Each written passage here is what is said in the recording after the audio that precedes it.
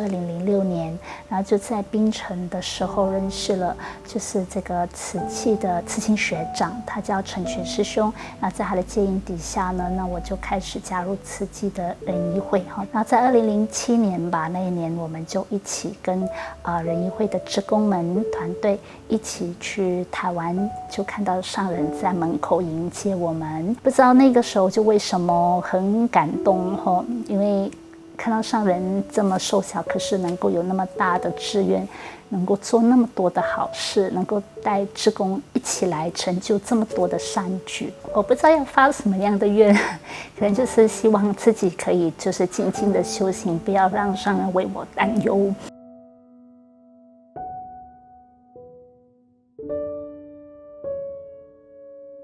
以前我有想过，就是要出家了哈。以前有那个志愿，就是想说，呃，人生啊就没有什么意义啊，自己也觉得自己很渺小，没有什么那个生命的价值。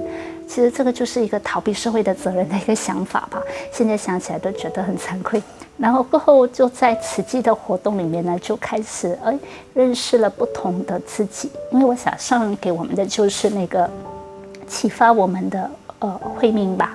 然后让我们去发挥我们的功能，让我的人生可以看到我以后可以为呃这个人类哈可以做出什么样的贡献哈和奉献，呃然后可以怎么样的让大家都呃可以离苦得乐，看到更多的希望。所以真的只有更多的感恩、知足、善解跟包容哈，然后多去结善缘。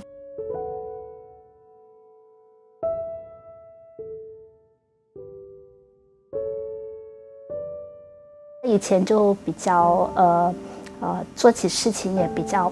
呃，畏缩就是不敢向前冲哈，也不敢给人家做，不敢放心的让人家去做，信己无私啊，信人有爱呀。那当我们相信自己的那个愿力，自己的 intention 就是不是私心，然后也相信大家的信念都是一致的，要为大家好的话，那这个事情就一定做得来。因为很多事情都不是一个人能够做得来的，就是需要一个团队的合作。我们就必须要相信。